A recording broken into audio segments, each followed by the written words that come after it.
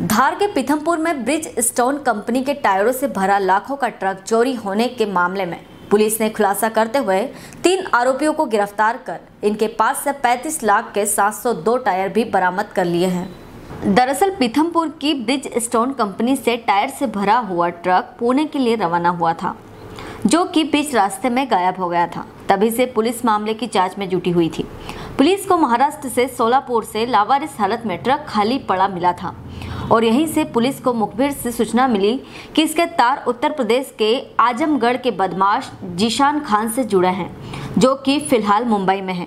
Police ने मुंबई के भिवंडी जाकर जीशान खान को गिरफ़्तार किया और उसे पीथमपुर लाया गया, जिसके बाद उससे सख्ती से पूछताछ की गई, जो पूरी वारदात का खुलासा हो गया।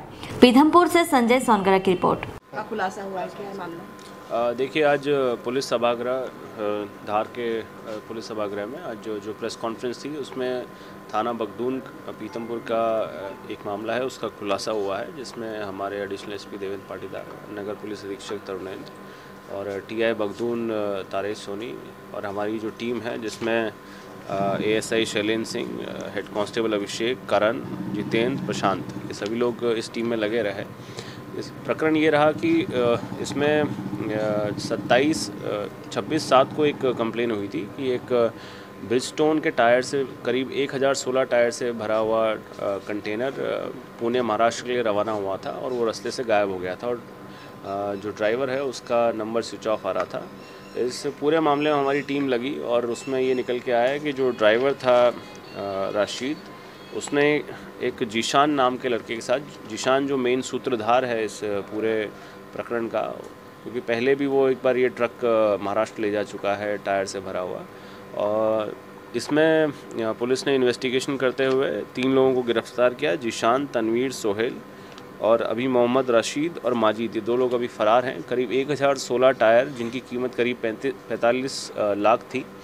उसमें से करीब 702 टायर रिकवर किए गए हैं, जिनकी कीमत करीब 35 लाख है।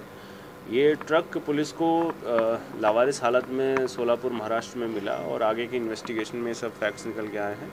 ये एक बड़ा संगठित गिरोह है, जो इस तरह के पहले भी घटनाएँ कर चुका है, जिसमें जो मेन आरोपी जीशान है 2015 में करीब 28 अट्ठावन किलो सोने की डकैती में ये मेन अभियुक्त था, जिसमें करीब 16.5 करोड़ का सोना जो है लूटा गया था।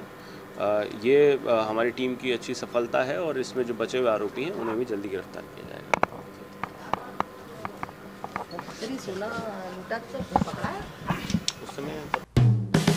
हेलो फ्रेंड्स आप देख रहे हैं हमारा channel S W twenty four news हमारे सारे वीडियो सबसे पहले देखने के लिए आप हमारे चैनल को सब्सक्राइब करें और पास में लगे बेल आइकन को दबाना बिल्कुल भी ना भूलें।